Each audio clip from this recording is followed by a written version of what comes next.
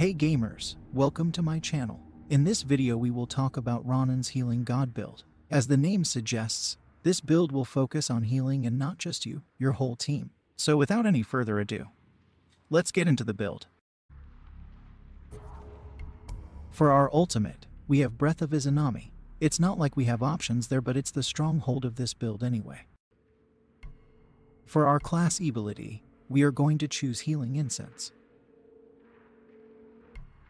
You can choose Flaming Roar if you want to go for Healing Fire build, but we will come back to that shortly. For our perk 1, you want to choose Legendary. This will enable us to have one additional legendary item equipped. For our perk 2, you want to choose Cure All. This is absolutely must and this is what makes this build into a healing god. This will enable us to heal our team members whenever we heal ourselves. You can spam bomb, you can heal all your team members, and you can make tons of damage with this perk. For our perk 3, you would want to choose Soothing Breath. This will ensures whenever we use our ultimatum and revive our team members. We can also heal them for 8 long seconds. Alternatively, you can go with Staggering Breath if you want to go with Hybrid Heal Fire build. Now let's look at the gear. For katana it comes to each own personal preference. For me I like water katana. I do not have great perks with this katana but the burning blade will make sure to light enemies on fire. For those who wants to use this as a hybrid build, this perk will help them greatly. For ranged, you want to choose Forbidden Medicine. This will heal you and allies caught in the blast. But what if your allies are not in range? That's where our perk 2, Cure All comes into picture. This will make sure even if your allies are far you can still heal them ensuring no one gets killed in the raid.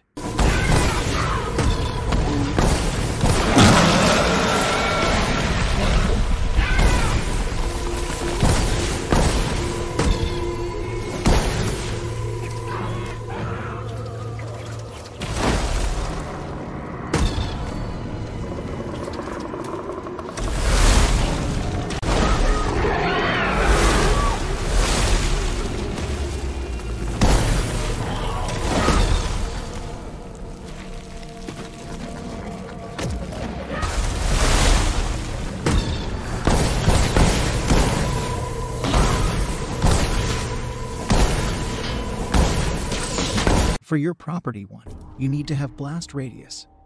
This ensures you cover wide area of effect. For your property 2, you can either have status effect damage or duration.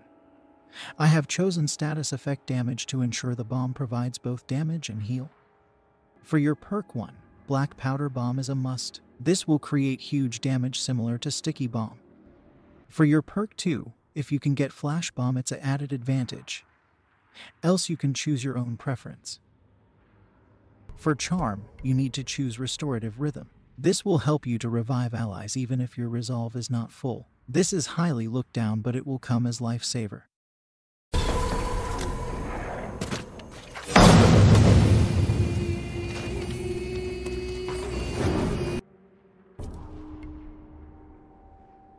For property you can choose fire damage and injured resolve gain. Injured resolved gain is a must as it will increase your resolve by 3 quarters for every hit. This will help you get your resolve to full and use your ultimatum.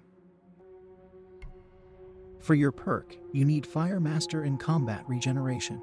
I am still trying to reroll Combat Regeneration. Combat Regeneration ensures you health gets constantly healed, ensuring your allies get healed in the process.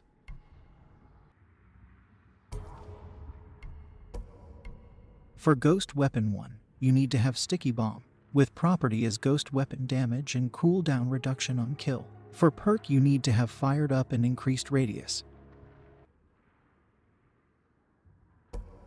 For Ghost Weapon 2, you need to have Smoke Bomb, with property, stealth attack damage and cooldown reduction on kill. For perk, you need to have Munition, which is a must, as this will refill your bomb on every use. For additional perk, if you can have Black Powder, then it's an added advantage.